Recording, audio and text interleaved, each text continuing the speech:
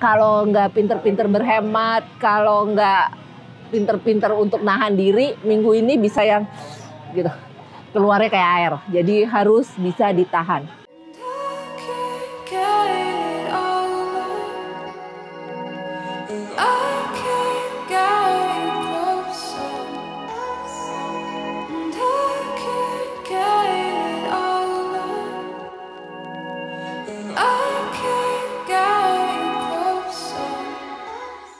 Halo, ketemu lagi bersama saya Madam Ara dalam Pick a Card.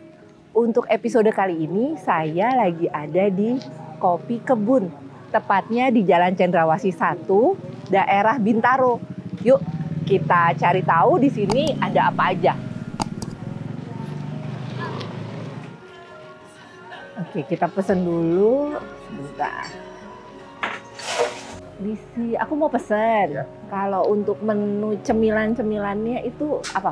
Eh, kakaknya mau pesen yang asin atau yang manis-manis? Asin, asin. Kalau asin, kita di sini punya cireng, kita punya pangsit goreng isi ayam, dan kita best seller kita di sini singkong kan? Oh oke, singkong boleh deh. Ya, boleh Singkong satu. satu, Ya, sama es kopi susunya. es kopi ya.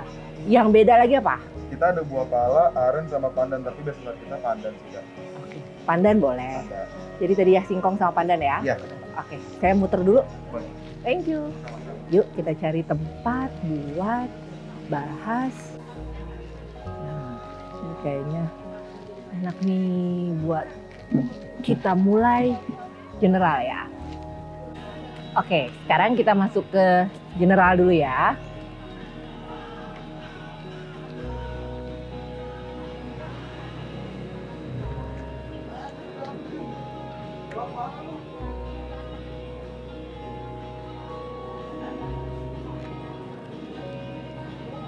Silakan dipilih dulu mana yang tertarik kartunya.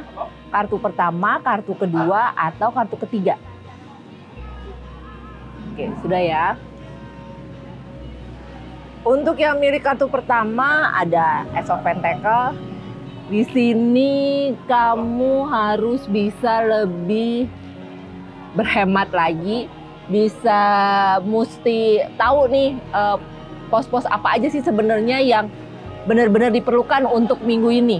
Karena bisa yang keluar gitu aja nih kalau nggak kalau nggak pinter-pinter berhemat, kalau nggak pinter-pinter untuk nahan diri, minggu ini bisa yang gitu keluarnya kayak air. Jadi harus bisa ditahan. Sementara untuk yang milih kartu kedua ada the lover. Jadi minggu ini bisa yang berbunga-bunga, bisa yang apa ya kisah kisah romansanya bisa yang lebih berwarna lagi nih minggu ini, bisa yang lebih semangat lagi karena urusan hati, urusan relationship bisa lebih oke dibanding minggu lalu. Sementara untuk yang milih kartu ketiga ada hmm, ada King of Swords. Mungkin kejengkelanmu itu dari minggu lalu, tapi masih ke bawah nih. Jengkel kenapa? Jengkel sama urusan kerjaan yang nggak beres karena pihak lain. Jadi sebenarnya pekerjaanmu sih beres, cuman jadi nggak beres karena pekerjaan lah itu menyangkut urusan sama rekanmu yang lain gitu. Nah itu yang bikin kamu kesel. Kenapa? Karena jadi imbasnya dampaknya ke kamu. Kamunya nggak bisa nyelesain sesuai dengan waktu yang sudah ditentukan. Jadi ya banyak sabar aja karena balik lagi ini bukan salahmu tapi berhubungan dengan rekanmu yang lain. Oke, demikian untuk pick a card yang general. Sekarang kita lagi cari tempat lagi yuk buat karir dan keuangan. Nah, kita cari tempat yang oke karena sini banyak spot yang menarik untuk dipakai. Oke, ini kayaknya asik nih. Kita buka untuk karir dan keuangannya di sini ya. Oke, sekarang kita masuk ke karir dan keuangan. Kita mulai dari karir dulu ya.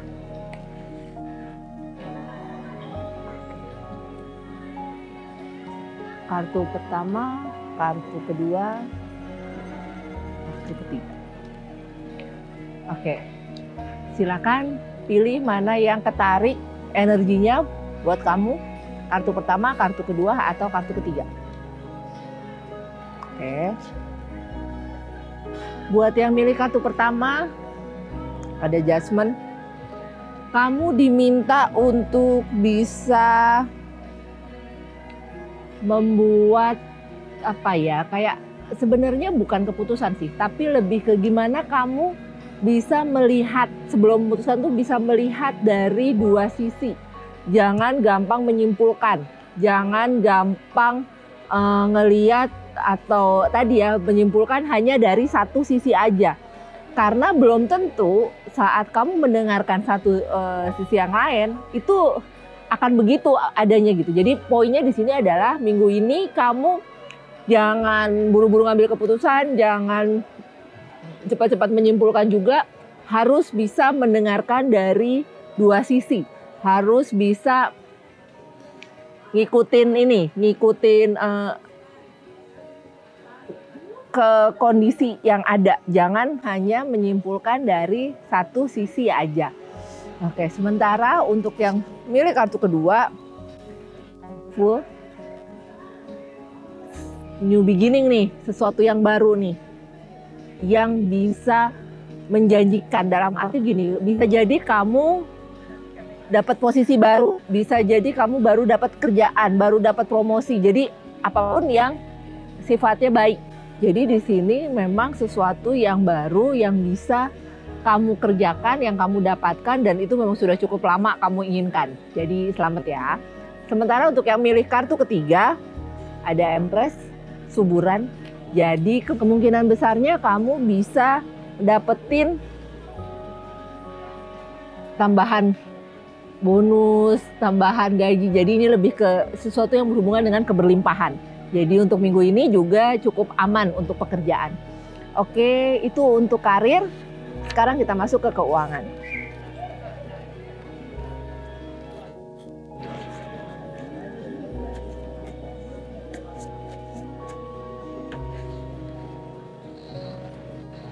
Kartu pertama, kartu kedua,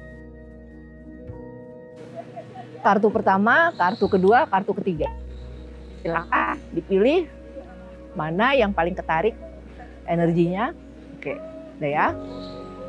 Untuk yang milih kartu pertama ada King of One. Kamu perlu lebih milah-milah lagi mana yang sebenarnya perlu kamu keluarkan sama enggak.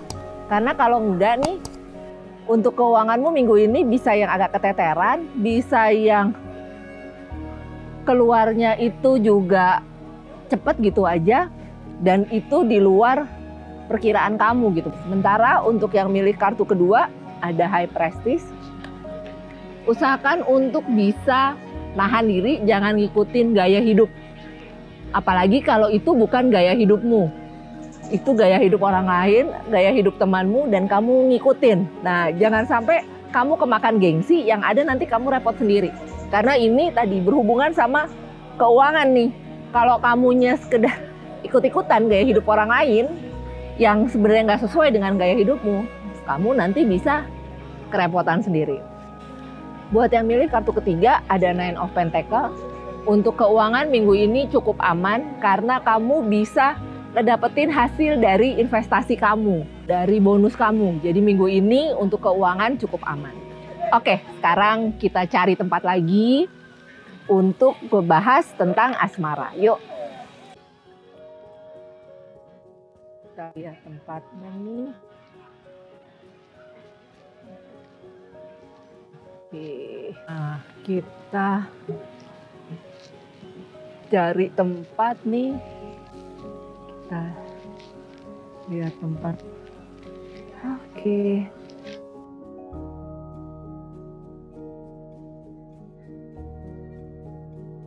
Oke, sekarang kita bahas tentang asmara.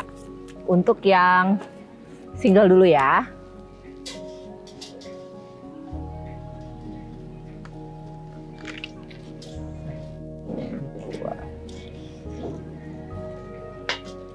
Silakan dipilih mana kartunya yang paling ketarik buat kamu. Kartu pertama, kartu kedua, atau kartu ketiga. Sudah ya? Untuk yang milih kartu pertama ada The Star. Jadi sebenarnya minggu ini kamu itu sedang bersinar, kamu itu sedang yang cukup di apa ya, bisa dibilang cukup di di kangenin gitu, Eh, cukup eh, bisa menebar pesona nih minggu ini sebenarnya. Jadi kamu harus bisa memanfaatkan semaksimal mungkin untuk bisa ngegahet pasangan. Nah, yang kedua ada Three of Wands. Usahakan untuk kamu bisa ngelepas bayang-bayang yang istilahnya gini, kamu tuh ngerasa kalau namanya punya pasangan itu hidupmu akan berubah. Kamu ngerasa kalau punya pasangan, kamu udah nggak bisa senang-senang lagi gitu. Nah, hal-hal seperti itu yang harus kamu singkirkan supaya kamu bisa lebih yang enjoy, lebih yang semangat lagi untuk cari pasangan. Karena kalau kamu mikirnya begini, yang ada kamu nggak akan ini nih gitu, nggak akan jalan-jalan ke depan nih. Karena menurutmu sendiri itu akan jauh lebih menyenangkan. Padahal ya tadi sebenarnya punya pasangan pun juga kamu bisa uh, senang gitu.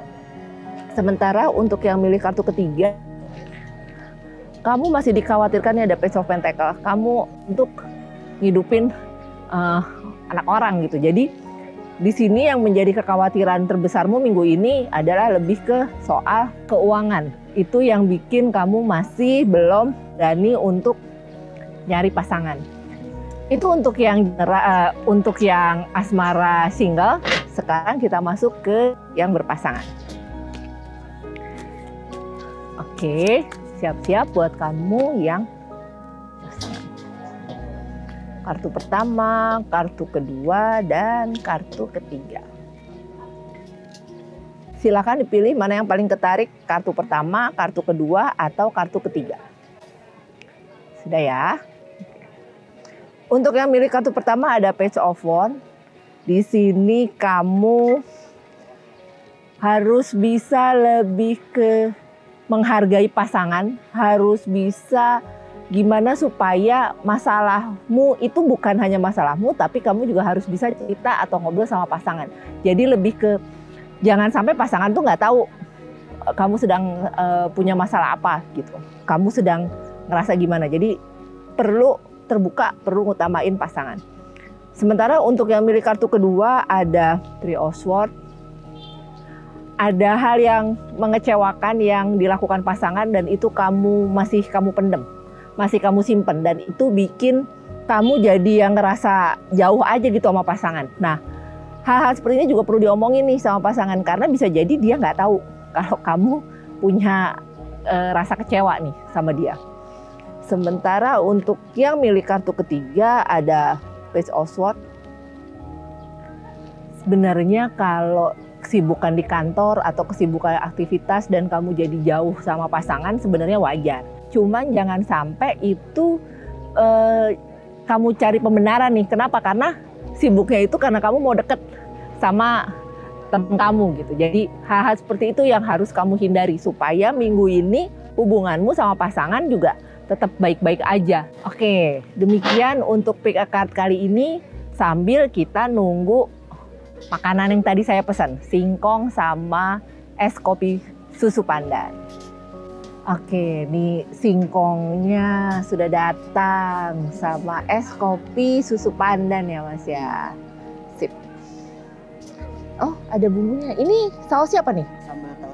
Oh, sambal tauco. Jadi buat kamu yang lagi ke kopi kebun, kalau milih singkong ada sambal tauconya nih. Jarang ada. Oke, terus ini pandan ya. Dan ini asli Asli. pandan sini nih.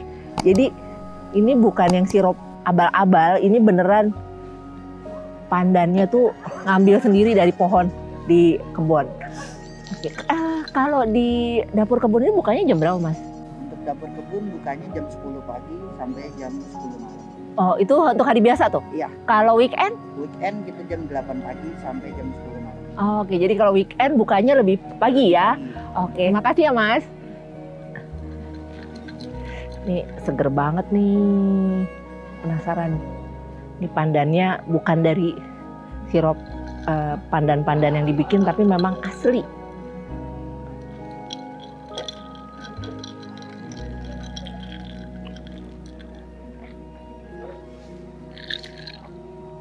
Hmm, rasa pandannya emang beda. Jadi kalau nggak terlalu nggak mau terlalu manis ya jangan terlalu banyak-banyak pandannya. Nah singkongnya ini digoreng garing. Yang menarik saus tauconya. Eh sambal, sambal tauconya.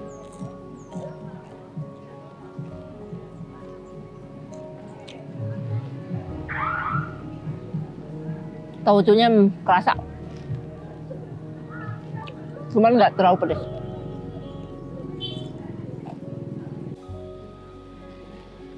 Kalau yang nggak suka tauco, mending makan singkongnya gini aja karena memang udah enak nih.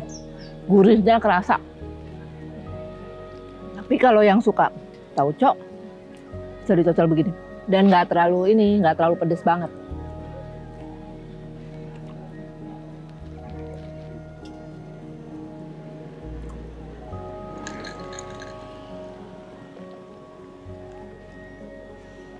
Oke, demikian untuk pick a card kali ini.